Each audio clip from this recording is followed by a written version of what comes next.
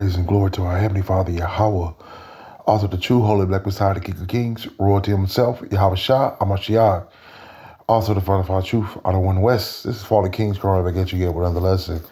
And before I go farther in this lesson, lesson 10 and 2, the lost sheep of the house of Israel, which consists of the so-called African American blacks, Latinos, and Native American Indians. And also our Israelite foreigners that like the other nations. To you I say shalom and peace and blessings be unto you.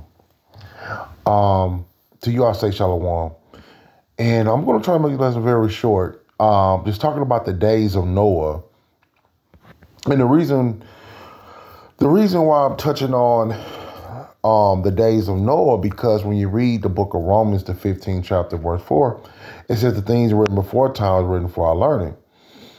And um, even the New Testament, it was mentioned about, on our King of Kings mentioned in the New Testament, as of the days of Noah, so should it be when the Son of Man returned. And only Noah family made it out of that flood, you know? Um, I can go to a couple of scriptures, like when you read the book of Esdras, it tells you how um, um, as a drop to a wave, you know, compares how it compares to who's going to be saved and versus the one who's not going to be saved. Um, even when you go to the book of Psalms, it tells you 10,000 will fall by thy side, you know. Let me, I'm gonna, let me get those scriptures real quick. This is Second Esdras, chapter 9, verse 16. I'm going to start at verse 14. Then he answered, then he answered, and I said, I have said before and now do speak, and I will speak it also hereafter there be many more of them which perish than of them which shall be saved.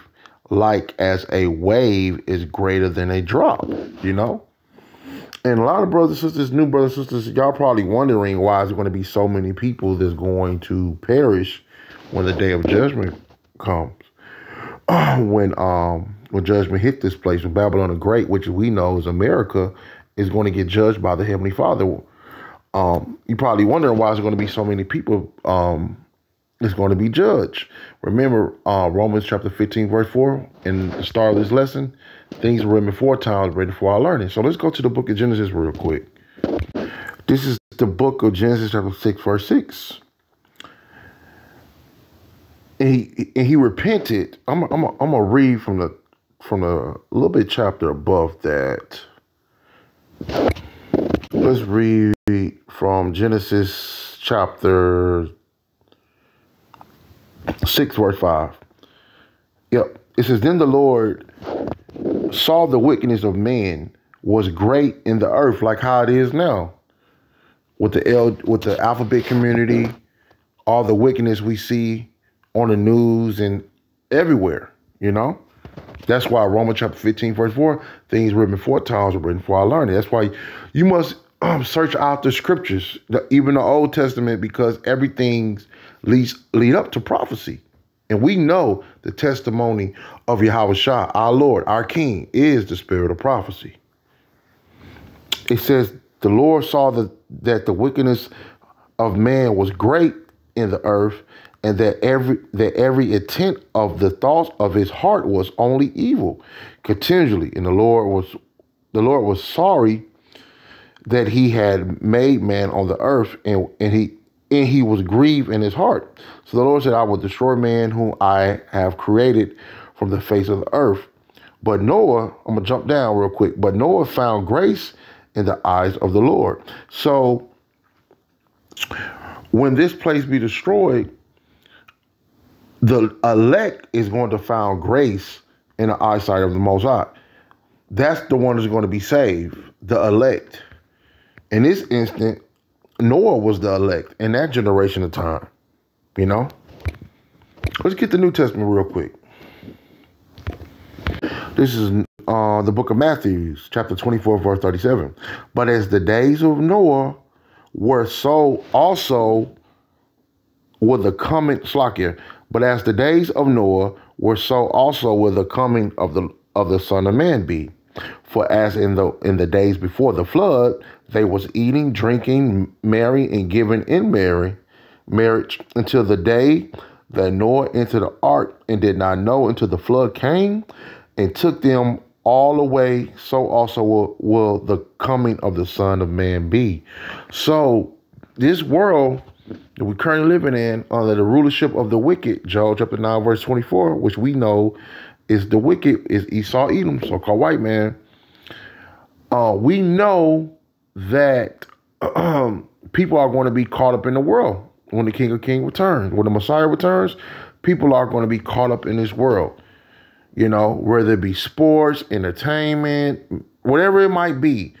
The, the majority of the world who outside the elect, they're going to be caught up in the world, you know, and that's going to that's going to cause them uh, to uh, you know because they're not among the elect, is going to cause them to be despised. They're going to be judged and be destroyed because they're not part of the elect and because they refuse to keep the law. And I'm talking about Israel here. I'm not talking about the other nations. I'm talking about the so-called blacks, Latinos, Native American Indians, because they refuse to hearken to the law, statutes, and commandments, and they refuse to um to um to come under the umbrella of Yahweh and come and come under the knowledge that they are the Israelites, that we are the Israelites, you know, and we must turn back to the law, statutes, and commandments of the Most High.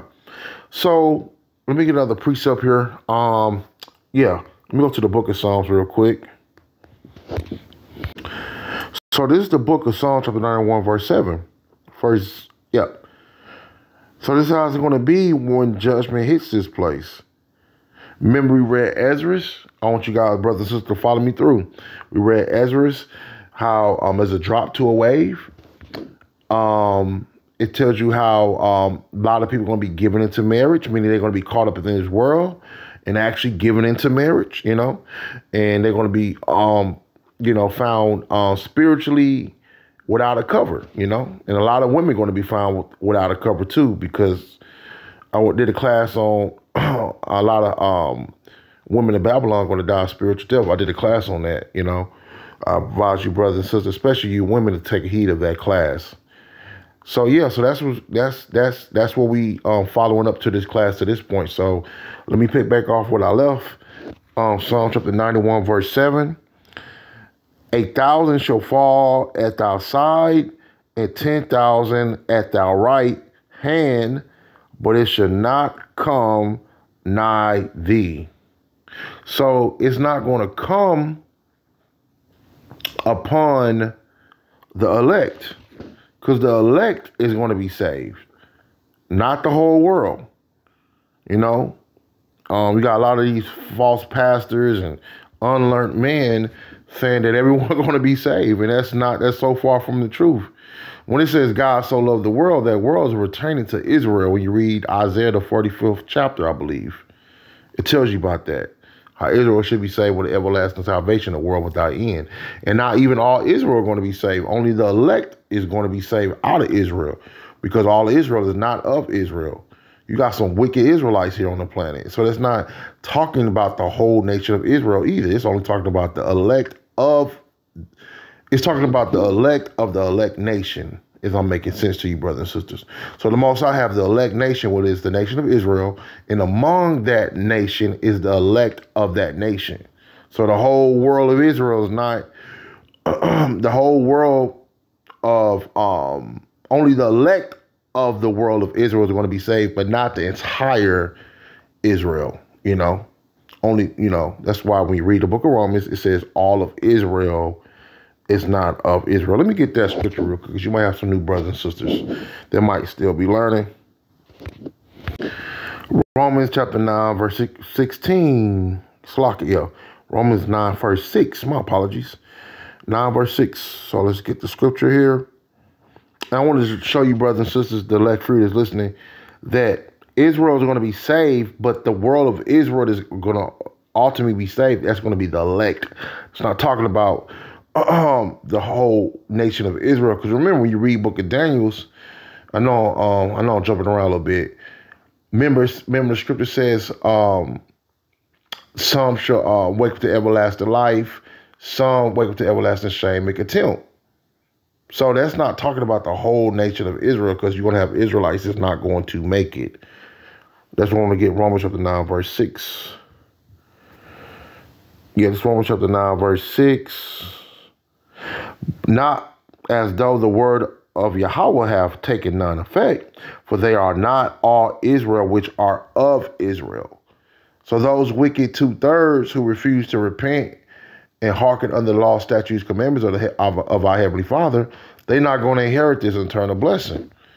You know, that cuts regeneration into the kingdom out the door because when you read Daniel chapter 12, verse 2, the, um, it goes into some short of everlasting life, some short of everlasting shame and contempt, you know? And that goes also into the new covenant because the new covenant is talking about the elect of Israel. It's not talking about the whole entire Israel, you know? Even when you go farther deep into the scripture, it tells you when those wicked Israelites, they said, let the blood, when they crucified our Lord, our King, it said even the prophets, because when they, it was wicked Israelites that had something to do with a lot of prophets being put to death. And they mentioned in the New in the New Testament, let the blood be on our own hands. And on our general, I'm Salakia, let the blood be on. our, um, let me get there real quick. Salakia, when you read the book of Matthew's, the 27th chapter, this the wicked Israelites here. It says, then answered all the people and said, his blood be on us and our children. So they wiped themselves out the book of life just by them saying that. You know? Um, the book of Matthew, chapter 12, verse 37, it, it says, For by thy word you shall be acquitted, and by your words you will be condemned. So they wrote themselves out the book of life, you know? So this this salvation is only for the elect of Israel. So not even all of Israel are going to get this internal blessing, you know, and, and going to be delivered, you know. So yeah, um, I don't want to title the lesson as the days of Noah, so I'm just going to title the lesson as that, and hope to let it very edifying to the hopeful elect, you know. But yeah, that's why we must try our best to strive to keep the law, statutes, commandments in the faith in our King, you know, Yahweh Shah, so we be able to receive this eternal blessing, you know, and hope we continue to grow in wisdom. And with that, I want to give all honor, praise, and glory to our Heavenly Father Yahweh, author and true of the King of Kings, royalty himself, Yahweh Shah, Amashiach, also the final file chief for the one west. This for all the kings going to get you yet one of the lessons. Shalom, peace and blessing, and shalom.